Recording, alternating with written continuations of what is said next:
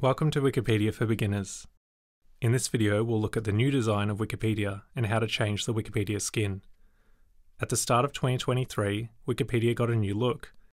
It's subtle, and you may not have even noticed the changes, but let's take a look at some of them. The main menu can be opened and closed by clicking on the three bars in the top left corner. If you have a Wikipedia account and are logged in, you'll also have the option to switch to the old look. More on that soon. If you want to keep the menu open, you can click Move to Sidebar, and to undo this, just click Hide and it will move back under the three lines. On the right hand side, there is the Tools menu.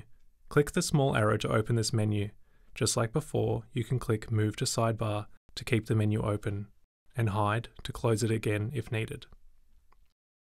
At the top of the page is the search box. As you type in here, you will see suggested results for articles on Wikipedia, Clicking these will take you to the article page. Clicking the big Wikipedia logo in the left hand corner will bring you back to the main page again.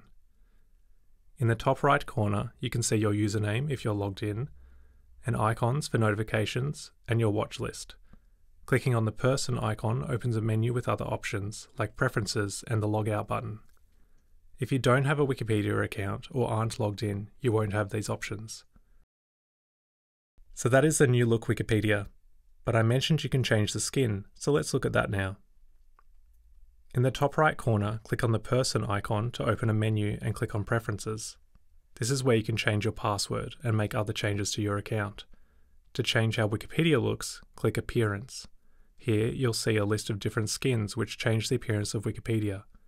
The default is Vector 2022. This is the one we've been using in this video. There are four other options here which have different looks. Click Preview on any of them to see what they look like.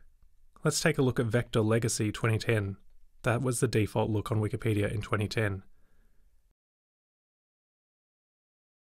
Back on the Preference page, if you want to use a different skin, just click the button next to the skin name and click Save.